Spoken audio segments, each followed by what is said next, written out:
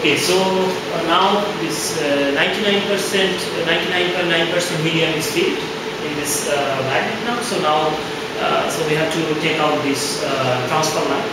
So therefore, to do that, before first I would like to make a pressure release so that this the extra pressure, additional pressure, we can be go to this to the recovery line.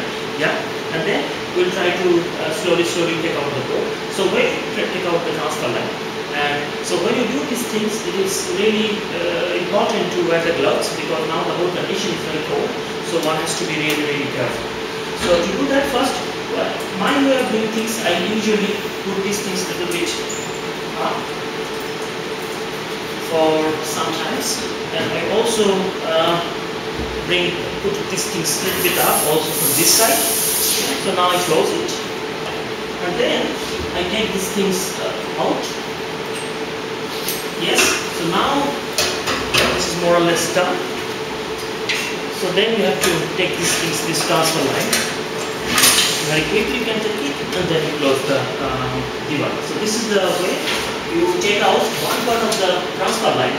And now I want to take out the other parts of the transfer line. You can see this how this area is actually coming the liquid is coming and then immediately the it's actually uh, it's out of the air how this is making a lot of uh, condensed and so on. So now we take these things out then you see now how the helium gas is coming to the magnet because now the magnet is completely filled.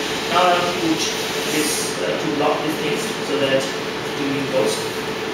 And now so this is more or less the uh, case. Now the helium, 99% uh, of the helium is filled.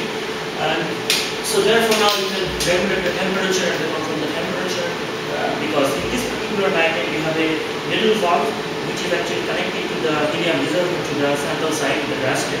And now with that actually you can essentially uh, control our temperature and so on. And that's the way actually one can fill the liquid helium.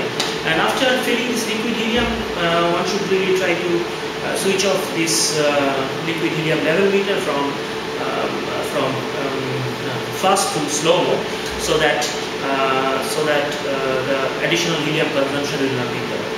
So this is the more or less the demonstration of field liquid helium from a helium lever to a uh, 8 Tesla uh, standard uh, uh, uh, 8 Tesla Oxford standard magnet. That's all.